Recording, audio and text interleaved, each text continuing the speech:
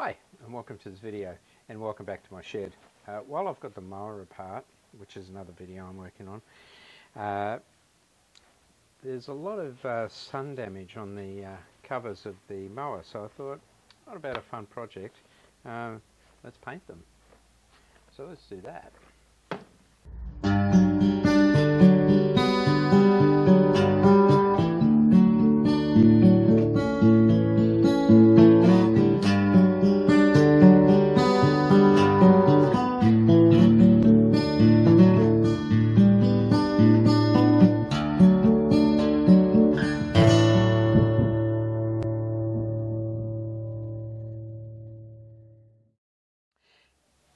So this uh, cover's developed this sort of crust on it. Uh, I guess it's UV damage. Uh, so what I've done is I've saved you the boredom of watching me sand stuff. Uh, so what I'm going to do is uh, I'm going to uh, try and put a, a, candy paint job on this. Just a simple candy paint job with a with a mottled look to it. so the steps I'm going to do are I will have to paint a primer on it first. Uh, the primer I have has a uh, plastic adhesion promoter built into it. So we're going to do that first. That, will make it grey. Uh, actually, the one I've got is clear, I think. Uh, so I'm going to do that first. Then I'm going to paint it black. And when that's dry, I'm going to put a layer of silver over and then use a plastic bag uh, with a mottling technique where you you have your silver paint on and you get a plastic bag or a cloth or something like that and you um, dab the surface with it like that and uh, that creates this inconsistent it's not like a smooth silver look it's sort of got bits of black in it and it's all different sort of visually its uh, texture. And then you put a candy paint job over that once you're happy with the candy color then we'll do a, a 2k uh, clear coat and the reason I'll choose to do a 2K clear coat is because this is going to be out in the sun. And uh, being in the sun, uh, needs some sort of protection. So that's what I'm going to do. I'm not really going to talk very much over that. I'm just going to film it as I do it. And uh, you can watch. Alright, so these are the paints that I'm going to be using today for this job. So I'm going to, I've got the Autoborn uh, sealer, transparent sealer. Uh, going to use the uh, black, opaque black for the base. I'm going to have aluminium base as my uh, silver. I've got some uh, transparent base here because I've, I've, run out of the uh, Autoborn uh, clear, UVLS clear. And I'm doing a candy uh, tequila yellow uh, as my candy colour. And I've got some 411, 411 uh, reducer there that I'll be using for that. So this is the uh, the range of colours and uh, paints that I'll be using and I'll just be using a standard LS 2K clear for the very top finish. And for the actual painting part I'm going to be using my Stan minigun and for the clear I'll be using my DeVilbiss GTi Pro Lite.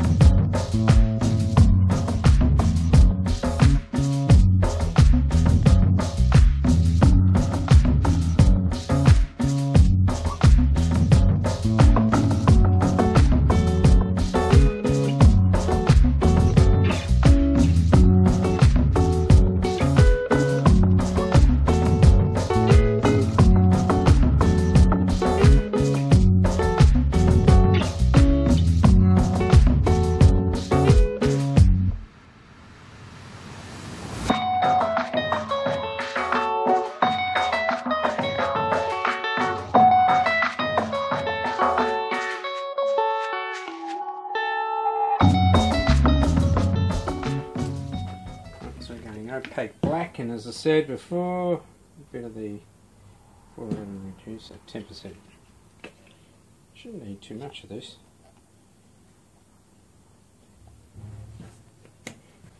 this uh, tends to go a fair way it's a bit hot today. Anyway, let's stir this up. Uh, they also say when you stir it up, you have to let it emulsify, so you've got to leave it for 15 minutes.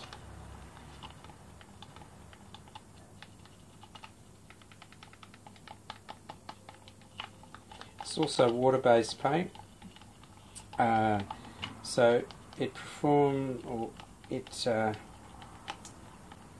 it bonds to the surface with a mechanical bond, not with a chemical bond, and it relies on air movement to dry, not temperature. So today is about 25 degrees, um, and uh, it doesn't help it if it's sitting in here. It'll take a long time to dry, but if you put it out in the, uh, it's quite quite breezy outside today, so I've got the uh, engine cover sitting on a table outside, getting plenty of breeze around it, and it's pretty well dry now anyway.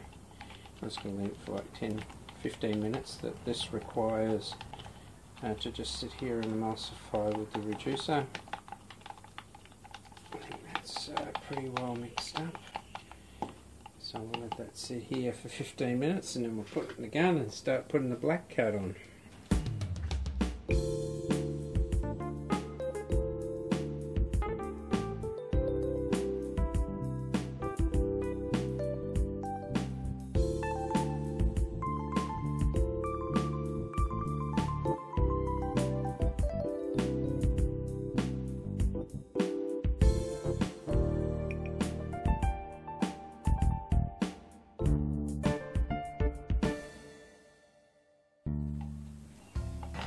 Rightio, so here we are. I've mixed the uh, silver up. I added a little bit of extra reducer, uh, slightly more than 10% because I want it uh, quite loose and uh, pliable because I'm going to use the plastic bag to uh, off the surface of the uh, engine cover.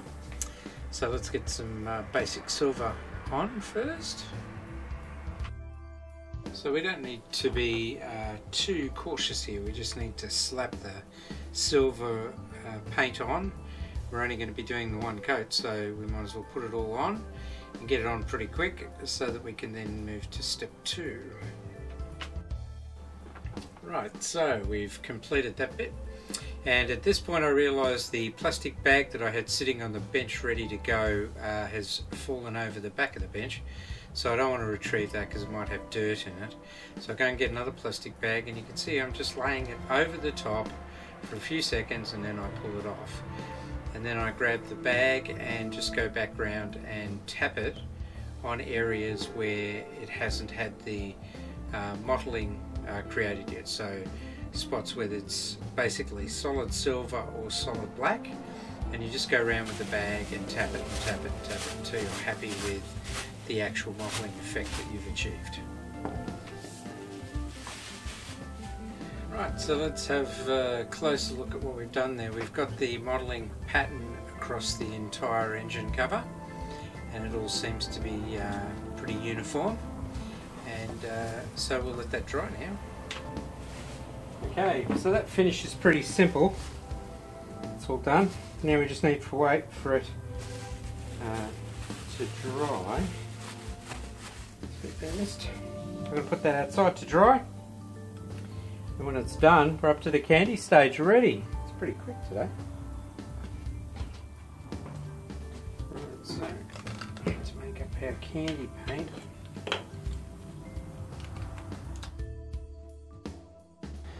Oh, it's time to mix up the uh, Tequila Yellow Sunrise uh, candy paint. This is an O2 candy, so it's a pure dye. Uh, so rather than mix it up and get it everywhere, uh, I'm mixing up directly in the cup. So I'm just adding a bit of the reducer. I'm going to mix it up and then leave the uh, gun with the paint in it for 15 minutes and uh, then I'll get on with the candy application. Okay, so the candy is a transparent paint and it allows you to build it up in layers to develop the colour that you want. So as you can see it starts out here it's quite a light yellow and as I apply more and more coats it turns a, a deeper darker orange and so I was going for a little bit of a dark colour and had to apply maybe three or four uh, very fine coats uh, to achieve the colour that I wanted.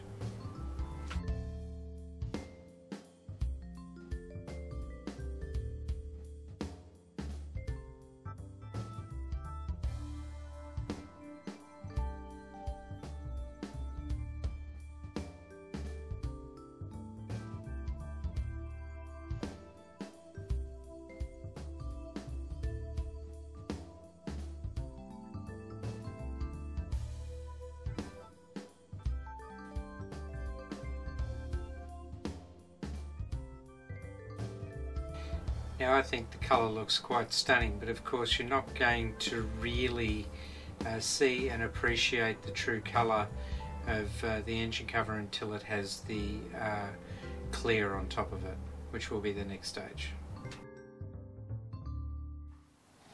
Right. Oh, okay.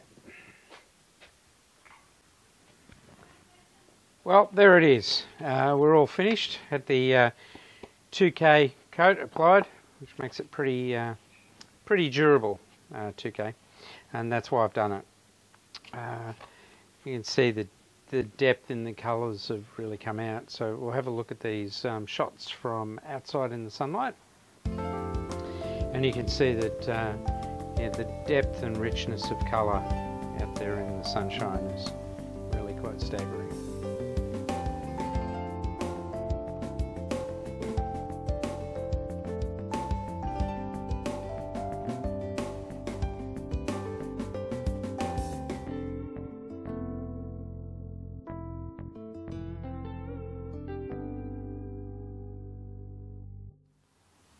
Okay, so uh, I didn't show any uh, footage of me uh, uh actually uh, painting the, the 2K. Uh, the reason for that is you would have noticed when I did the primer and I did the black, the silver, the candy, I was wearing a respirator, okay, in a well ventilated shed with a fan and that's okay, that's water-based paint, so it's okay, but 2K you have to take a lot more seriously. I have a spray booth I have set up with um, with uh, extraction. I wear a full uh, spray suit. I wear a full face respirator, gloves, the works. Okay, you can't be too careful with that stuff. So that's why I did that. And I'm not going to put a camera in that environment either. So that's why I didn't do that. Okay, so with this, I was thinking about painting the uh, the side panel here and the top of the clamshell, that bit there. Uh, but when I cleaned it up, I noticed a lot of uh, scratches in the top, which I think have come from the uh, fruit trees that I have to mow under. And uh, when there's a lot of fruit in them uh, this time of year, or on them this time of year, uh, they tend to, you know, scratch on the top of the mower. So 2K would stand up to that for quite a while, but I don't really want to put it through that, so I figure the top part can stay just plastic, and that's fine. Uh, so let's have a quick look at what the uh, mower looks like uh, now it's back together again.